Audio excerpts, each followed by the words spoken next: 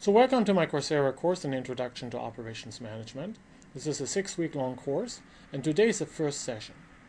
What I thought we would do in this first session is instead of me bombarding you with the logistics for this course, including the homework assignments, the format of the course, the exam, the course book, and all these other good things, we just get started.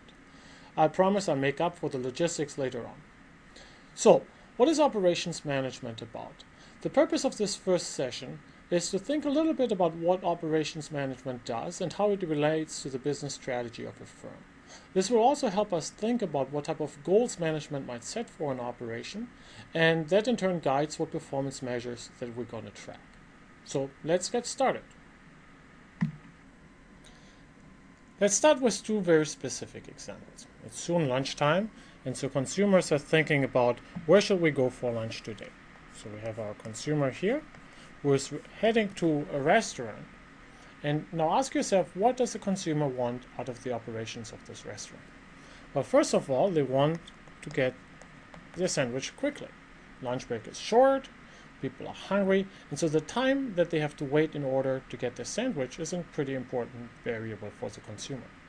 Second, consumers differ in what type of sandwiches that they like, and so the ability of the restaurant to really make sandwiches that are appealing to customers is important. They have to be able to provide a variety of sandwiches, which means either having a big menu or being able to make these sandwiches to very specific customer instructions. Third, the customer cares about quality.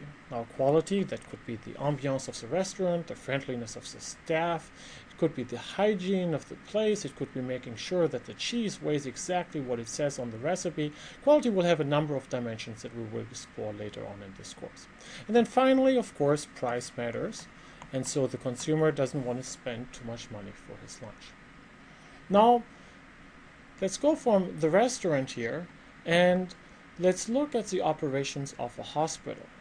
Same thing, we have a consumer arriving to, for example, the emergency room of, of a hospital. So we have our unhappy consumer here who is coming to the hospital. And we're now asking ourselves, well, what does the consumer want the operations of this hospital to do? Again, time is critical. Wait times in emergency rooms in this country can often take as long as five hours. And so the person wants to be seen quickly they want to make sure that they get the care that is right for them instead of the care that is right for the person in the bed next to them. Um, they want to receive this care in a high quality manner, making sure that it is uh, in accordance to the latest evidence based medicine, that the doctors and nurses have washed their hands, that the place is clean, and everything else. And then finally, there are the charges and the copay that the consumer and or his insurance will have to pay for the service. So sandwich store or emergency room, we see that an operation has to be able to perform well along four dimensions. The first one is the cost dimension. That's probably what most of us associate with operations management is just providing a high efficient operation. The second dimension is variety. Now, to be fair, consumers don't care about variety per se, they just want something that they like. So really variety measures the flexibility of an operation to provide goods and services to a heterogeneous customer base. The third dimension is quality. The quality dimension is broken up into two sub-dimensions. The first one is called performance quality. The second one is called conformance quality. Performance quality measures how good of a product or service we provide. Most of us would agree that the BMW is a high-performing car, not because how it is built, but primarily because how it has been designed. The second dimension then is conformance quality. It really captures to what extent we're able to deliver on the promise that we have made to the customer. And then finally, there's timeliness, our ability to provide a quick response to demand. Those four dimensions are important for two reasons. First of all, they are the goals that we strive for in an operation, and so they will guide what type of performance measures we track. And then they're really also at the heart of defining the business strategy. These four dimensions give us opportunity to differentiate our operations from other, thereby potentially providing us with a competitive advantage. Now imagine you get hired as a consultant to Subway and you would be asked to come up with a performance measurement system that tracks these four dimensions that we just discussed. What would you measure? Well, on the cost side, you would start potentially looking at the labor productivity. You could imagine measures such as the sandwiches per employee, or the customers served per employee, or the minutes it takes you to make a sandwich, or other measures like that.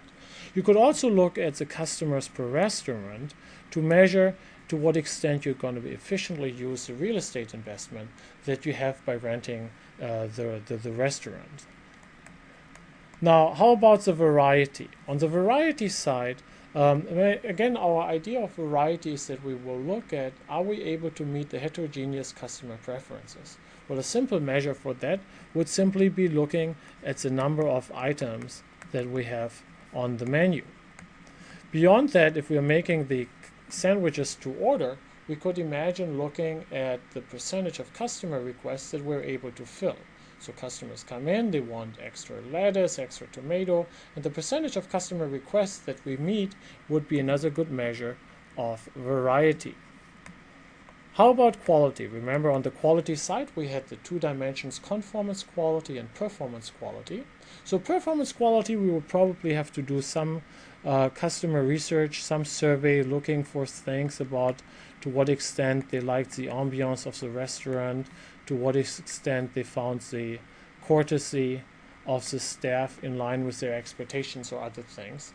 Um, on the conformance side, we would probably look, are we really delivering what we promise? And so that means we could look at the freshness of the ingredients of the sandwiches, we could, in the extreme case, we could go even as far as putting these sandwiches on the scale and just measure whether we put the exact appropriate amount of grams of cheese on the, the Subway ham and cheese sandwich.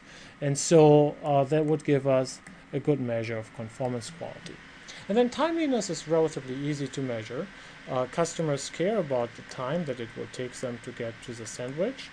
And so we could go and measure how many minutes a customer has to wait between entering the store and leaving the store with a sandwich in their hand. So finally, let's talk about strategy. Strategy guru Michael Porter suggested there are two ways in which an organization can get a competitive advantage. It's either through cost leadership or through differentiation. The dimensions that we discussed, variety, quality, and timeliness, are three ways in which your operation can differentiate itself from others. Thereby, by coming up with a great operation, you're really creating your firm a competitive advantage.